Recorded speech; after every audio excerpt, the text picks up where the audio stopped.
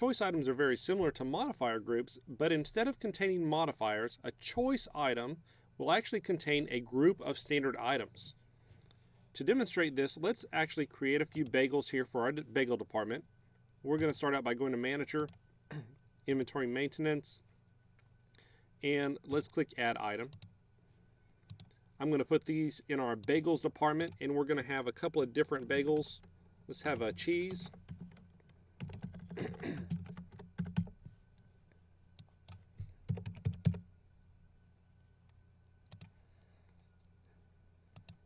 And let's duplicate that and make a couple more.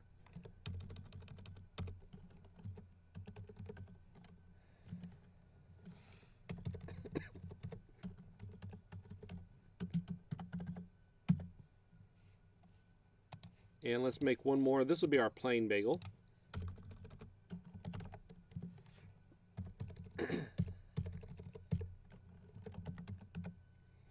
And let's go see how these look on the main screen. Sometimes we can just pop from one department and back on and the items will show up. If you can do that and it works great, if not, log, log off and log back in. And here's our standard items that we have created. And when we click them, you'll notice that they just pop right up here on the main screen and that's good. Now, there's a couple other things we might want to do to enhance the workflow, make it a little bit faster.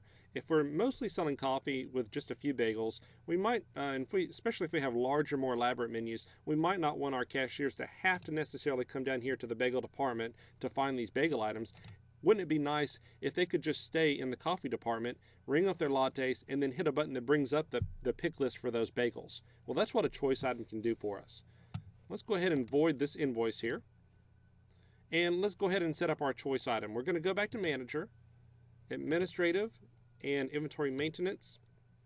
Let's add an item. Now this time we're going to choose Choice Item. And that's going to give us the option here. Now we're going to build this item in the coffee department, even though these are bagels that the ba actual bagel items are in the bagel department. This is where we want this button to show up, in the coffee department.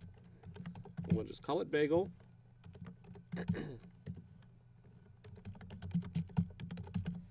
And again, we're going to prompt our cashier, please pick a flavor. So we need to go into the pick list here and find our different bagels. I started the item number of each one of these items with a BAG in front so that I could quickly locate them here in the list with a text search. So let's add all three.